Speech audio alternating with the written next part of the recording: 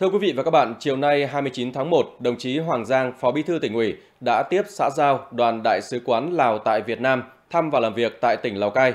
Cùng tiếp có lãnh đạo một số sở ngành của tỉnh. Tại buổi tiếp, đồng chí Phó Bí thư tỉnh ủy Hoàng Giang bày tỏ vui mừng được đón tiếp đại sứ Kham Phao Ân, Thạ Văn và đoàn công tác đại sứ quán Lào tại Việt Nam đến thăm làm việc tại tỉnh Lào Cai. Đồng chí Phó Bí thư tỉnh ủy Lào Cai đã thông tin nhanh một số thành tựu phát triển kinh tế xã hội tỉnh Lào Cai năm 2023.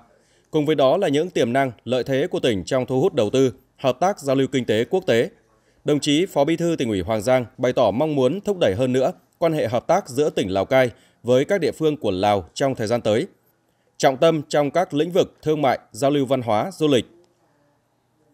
Đại sứ Lào tại Việt Nam Khăm Phao Ân Thạ Văn cảm ơn sự đón tiếp trọng thị nồng hậu của lãnh đạo tỉnh Lào Cai đối với đoàn công tác.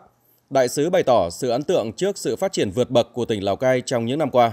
Đại sứ mong muốn thời gian tới, tỉnh Lào Cai sẽ tiếp tục quan tâm, thúc đẩy quan hệ hợp tác cùng phát triển với địa phương của Lào, nhất là trong lĩnh vực phát triển năng lượng, nông nghiệp xanh, thương mại, đầu tư, du lịch, giáo dục, giao lưu văn hóa.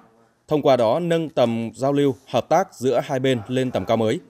Trước đó, đoàn đại sứ quán Lào tại Việt Nam đã đi tham quan cửa khẩu quốc tế đường bộ Lào Cai và cửa khẩu quốc tế đường bộ số 2 Kim Thành.